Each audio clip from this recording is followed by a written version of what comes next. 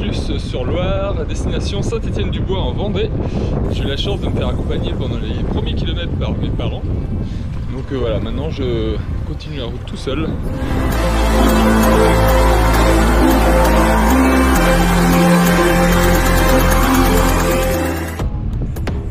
Bon, c'est le problème en sortant de Nantes, on passe euh, au sud de Nantes pas mal par de la zone industrielle, donc euh, vivement la campagne.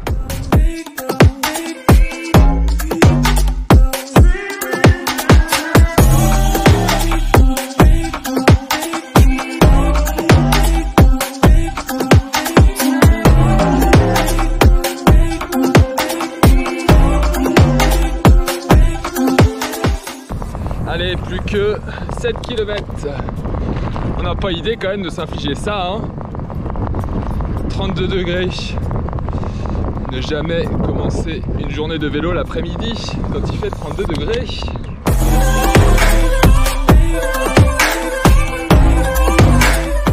Voilà des petites routes de campagne comme on les aime. Avantage des balades en vélo.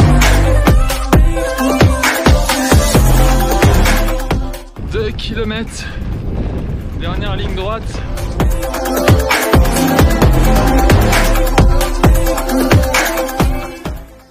Voilà, je viens d'arriver à Saint-Étienne-du-Bois où je dors ce soir chez Nathalie, Arthur et Nora, leur petite fille. Et voilà, je fais 66 km. Un peu crevant, mais ça fait du bien. Voilà, bonne soirée.